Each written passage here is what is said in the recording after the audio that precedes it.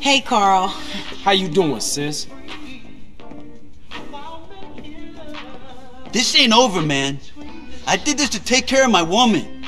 But now I'm gonna head straight back home and I'm gonna cap me some fucking dope dealers.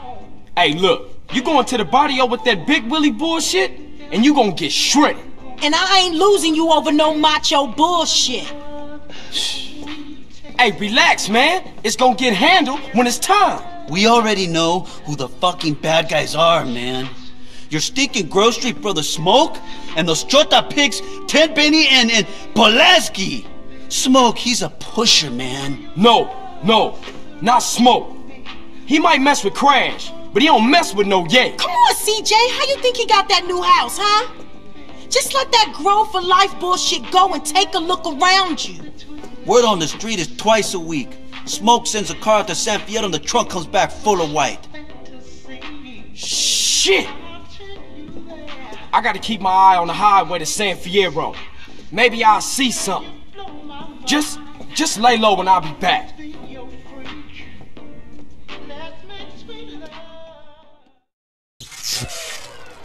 Hello? Where'd you been, asshole?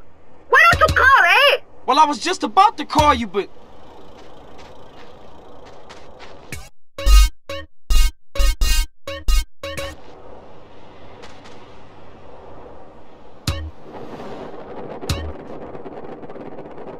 you